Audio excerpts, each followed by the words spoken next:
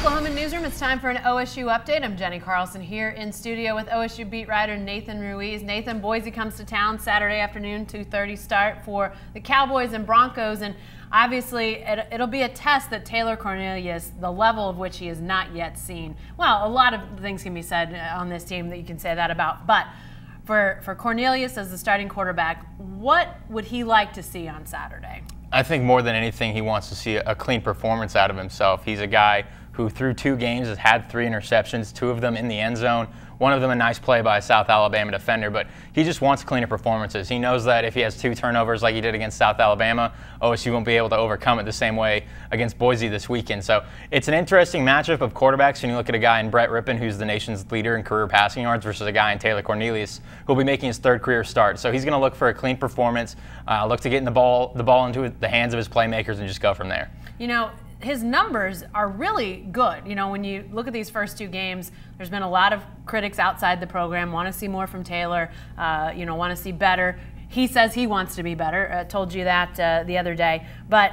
His yardage, only one quarterback has thrown more in his first two games as a starter, and that's Brandon Weeden in, in Gundy's 14 years. So, numbers wise, Cornelius has been okay, but how can he get that cleaner performance? As he's talked about it, as Mike Gundy's talked about it, as you've looked at it, what does he have to do to be, you know, more efficient, less turnover prone? You know, I think he's been really effective mentally. It's just been a bad throw here or there. Uh, you look at the interception in the end zone on Saturday against South Alabama. He said he just kind of babied the throw, just tried to do a little too much. It's a first and goal play, so OSU had every opportunity if he just throws it away to give it another try on second down. So I think it's just kind of learning situational football for him. Obviously, he's, he's done a lot of mental reps, and it's just actually being there in live action, going through things. And you mentioned the Brandon Weeden situation. Weeden was in his second year as a starter when he did that. Taylor Cornelius, again, just played his second game overall. So it, there's a lot of adjustment going on, but he's putting up the numbers so far, and a lot of it's just the result of, of finding those guys when he has the opportunity to. He's been, I think, really effective,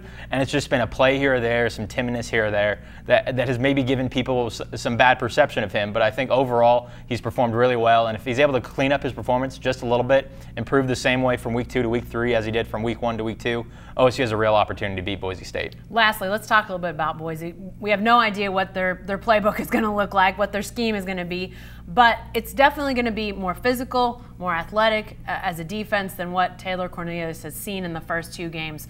What's that adjustment going to be like for him? I mean, again, we don't know. Are they going to load the box? Are they going to drop the safeties? We, we really don't know what, schematically what they're going to do. But what what's that going to be like for him to see this continued increase in level of competitiveness by the opposing defense? Yeah, it's definitely going to be a big jump. Boise State returns 10 of its 11 defensive starters from last season, so that's obviously going to present a challenge whenever you're facing an experienced defense. I don't think they're going to do the same thing South Alabama did in terms of stacking the box to really limit OSU's run game, so I think that'll help him a lot. We saw in OSU's first game how he used Chuba Hubbard and, and Justice Hill in the receiving game, and I think we'll see that continue against Boise State, maybe with the opportunities there a little more, with Boise State not selling out to stop the run in the same way. So it'll definitely be a challenge just because the, the, it'll be a different athleticism he's facing. Um, but I think he's a guy who OSU has you know full confidence in. Uh, Mike Gundy made an interesting point. There's a lot of people out there hollering for Dru Brown or Spencer Sanders, and, and Mike Gundy straight up said, "Be careful what you wish for. You know, be thankful for what you have." And a guy in, in Taylor Cornelius, fifth-year senior, four years of experience in the system, who's put up really good numbers so far. OSU has the number one offense in the nation in terms of total yards. So uh, if he's able to, to stay calm, stay relaxed against a really talented defense, which is a lot to ask, of course, easier said than done, but he's a guy who I think has every opportunity to go out there, put up an efficient performance, and lead OSU to a victory. All right, we'll see how it goes on Saturday afternoon. 2.30 is kick time. If you're headed to Stillwater, if you're not, ESPN is where you can check out that game between Oklahoma State and Boise State. Be sure to stay with the best coverage team anywhere at newsok.com and every day in the Oklahoman.